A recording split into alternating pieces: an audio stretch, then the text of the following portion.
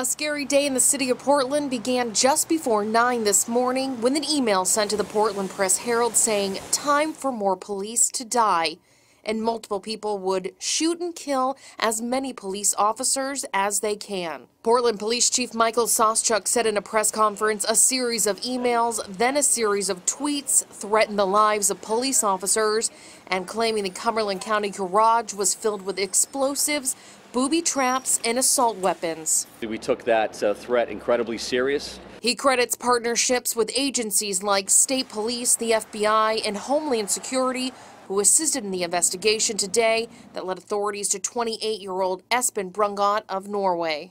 And because of that, uh, we went from uh, really an unknown email and uh, tweet this morning to four hours later having somebody in custody. The chief said no explosives or weapons were found when the Norwegian tourist who was traveling with family was arrested on federal charges for transmitting threatening communication. It does appear like he was fixated on, uh, on really the, the news around the country.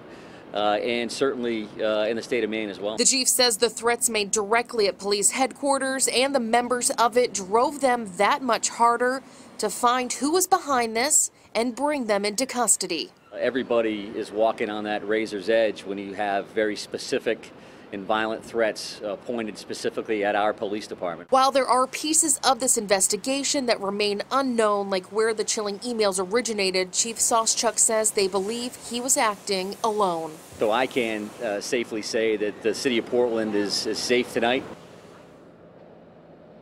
And the chief also said that he has spoken with his team in the past about how, although it seems like something like this can't happen in Maine, threats like this can happen in our own backyard. And today was proof of that. Live in Portland tonight, Morgan Sturdivant, WMTW News 8.